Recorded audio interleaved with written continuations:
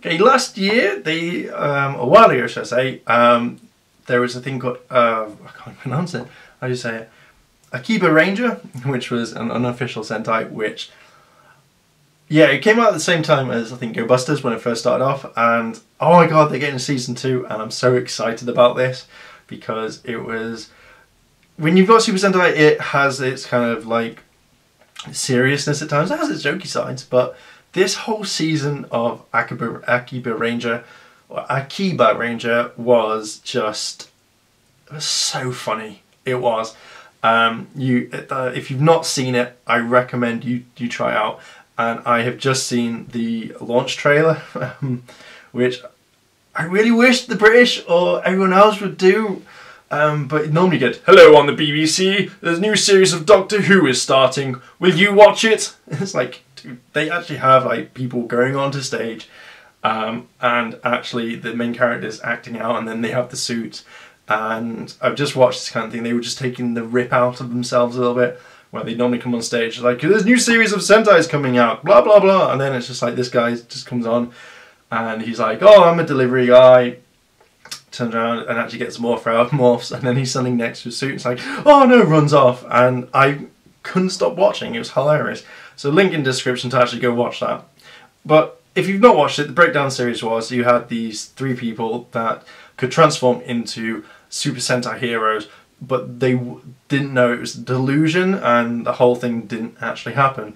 Um, I won't spoil too much, but it's a great series. Go watch it if you hadn't. Um, I will link something down below. But oh, this is so much fun. The whole whole thing of this you know, this type of Sentai, one of these, oh, out of focus. So this was like the main character. If you can see him, oh, it's out of focus. This is like the main Red Ranger, and then you had like the yellow and, oh, yellow. so pretty. And, oh, it's just such a good series. Um, so I'm really glad that uh, they've got a season two. I think maybe a lot of people were like, hey, just, just make it happen, people. And like at the very end of season one, they were like, look right into these people, turn around and say, hey, like, you know, go make this thing, make it. You know, if you want us to come back, you know, body switching episodes, beach episodes, do it, come and see us. I'm like, hell's yeah, Mark wants to watch that stuff. um, but yeah, severely guys, go watch this. Season two is going to start soon, and I can't wait. This if the next Super Sentai kind of bombs down a bit and isn't that entertaining, this will be my year. And I'm hoping that they're going to do more than like six, uh, 12 episodes, how many they did. I'm hoping they'll do like an entire whole season.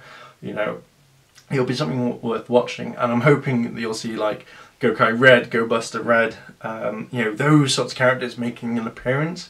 I think it'd be quite funny if, if, if you watch this, um, uh, Toei Entertainment, then I want some recognition for this, but maybe like meeting the actors outside and then they don't know, they say, oh, I'm just an actor, I don't know anything. Something like that would be quite cool just to watch and just have fun with. So please guys, just make this a lot longer rather than a few short episodes because it's so good. And I'm looking, they're hoping they'll bring some more characters in.